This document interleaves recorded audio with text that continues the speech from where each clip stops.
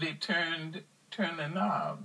So I said, stand back, stand four feet back, because I'm going to shoot now. Boom. Boom. And then you heard. Oh, that's exactly what I heard. Don't mess with Maya Angelou.